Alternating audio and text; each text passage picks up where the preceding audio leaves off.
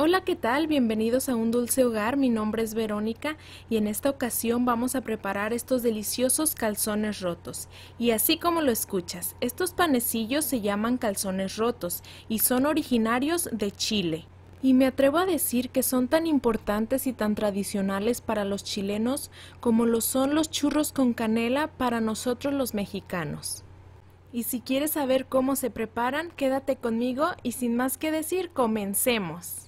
Los ingredientes que vamos a necesitar son 3 tazas de harina de todo uso, igual a 450 gramos, un cuarto de taza de azúcar glass, una y media cucharadita de polvo para hornear, 4 cucharadas de azúcar refinada, ralladura de un limón. También la puedes sustituir por ralladura de naranja. Una cucharadita de canela en polvo, 60 gramos de mantequilla a temperatura ambiente,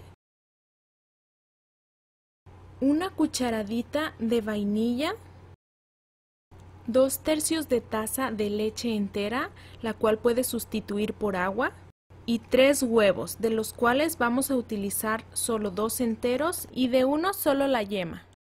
Lo primero que vamos a hacer es en un recipiente grande vamos a agregar la harina, la cucharadita de canela, la ralladura de limón, el polvo para hornear y el azúcar refinada.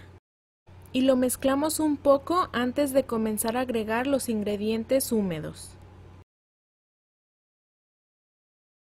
Ya que quedaron bien mezclados, ahora sí vamos a agregar la mantequilla. Recuerda que esta mantequilla tiene que estar a temperatura ambiente y esta es la consistencia que debe de tener. También agregamos la cucharadita de vainilla, los huevos, solo recuerda que de estos vamos a estar utilizando dos enteros y de uno solo la yema. Mezcla un poco y enseguida agrega los dos tercios de leche entera. Y recuerda que también puedes sustituir la leche por agua. Ahora sí, seguimos mezclando hasta que todo comience a integrarse. Yo prefiero usar mis manos, así que retiro los excesos del globo y comienzo a amasar con la mano. Por cierto, si casualmente comenzaste a ver este video y eres nuevo por mi canal, te invito a que te suscribas. En este canal te comparto recetas súper sencillas de hacer y muy deliciosas.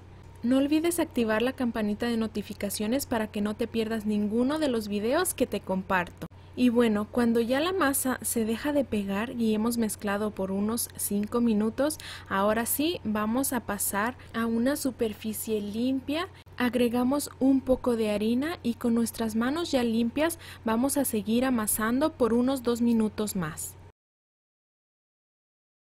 Si te soy sincera, yo no tengo idea de por qué le llaman calzones rotos a esta receta. Si eres chileno y tú conoces la historia de estos panecillos, por favor dinos en los comentarios por qué es que les llaman así. Y bueno, lo que sí sé es que son súper deliciosos. La verdad es un panecito que queda firme pero suave por dentro y el sabor es súper delicioso.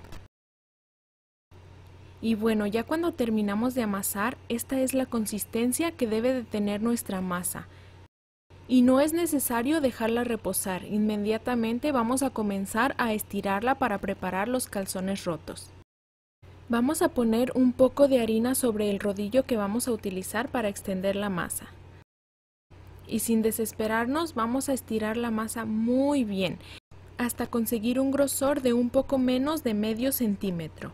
Si es necesario cuando ya está un poco extendida, darle vuelta a la masa y sigue extendiéndola tú vas a ir notando que comienza a pegarse y que ya no se encoge.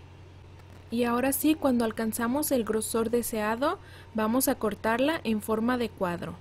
Para esto voy a utilizar un cortador de pizza, pero si tú no tienes puedes utilizar un cuchillo. Y así de esta manera es como le vamos dando forma al cuadro y retirando los excesos. Y ya cuando lo tenemos vamos a seguir cortando. Ahora vamos a hacer tiras a lo largo de la masa de esta forma. Y las tiras las partimos en tres para formar pequeños rectángulos. Y ahora solo a cada rectángulo vamos a hacer un pequeño corte en el centro. Las medidas de mis rectángulos son aproximadamente 4 centímetros por 7 centímetros de largo. Ahora sí, vamos a darle forma al calzón roto. Tomamos un rectángulo, lo abrimos del corte que le hicimos en el centro y ahora pasamos uno de los extremos hacia adentro y estiramos. Vamos a volver a repetirlo. Tomamos un rectángulo de masa, abrimos el centro que le cortamos e introducimos ahí uno de los extremos y ahora sí solo estiramos. Y repetimos el procedimiento con todos los rectángulos que nos quedan. Cabe mencionar que los excesos de masa que quitamos al formar el cuadro grande vamos a utilizarlos. Solo es cuestión de amasarlos un poco extenderlos y volver a repetir el proceso anterior mencionado. Algo más que te quiero mencionar es que con las cantidades que estamos utilizando en esta receta te van a salir entre 25 y 30 calzones rotos. Todo depende del grosor y tamaño que los dejes. Y quiero mostrarte cómo es que yo los voy acomodando en lo que voy haciéndolos. Los pongo en una charola y ya cuando termino todos comienzo a freírlos de la siguiente manera.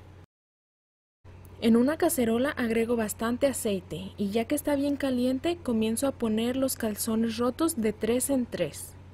Si te das cuenta, en cuanto los pones en el aceite comienzan a esponjarse muy bonito.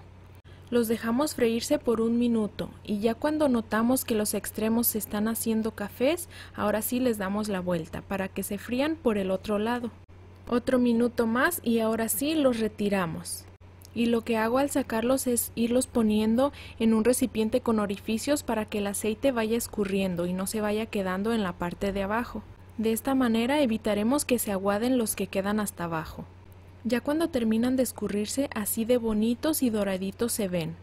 Ahora sí, solo espolvoreamos el azúcar glass utilizando un colador y es así como quedan listos. Y mira qué bonitos se ven. Para mi gusto yo le pondría azúcar con canela, pero la receta original lleva azúcar glass, así que dejémoslos así. Y así llegamos al final del video. Te doy las gracias por acompañarme hasta aquí. Te invito a que los prepares y si te gustaron por favor dale like a este video y compártelos con todos tus amigos y conocidos. Gracias y nos vemos en la próxima receta.